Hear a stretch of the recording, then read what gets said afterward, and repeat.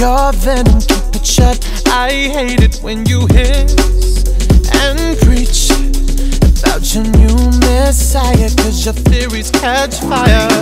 I can't find your silver lining. I don't mean to judge, but when you read your speech, it's tiring. Enough is enough.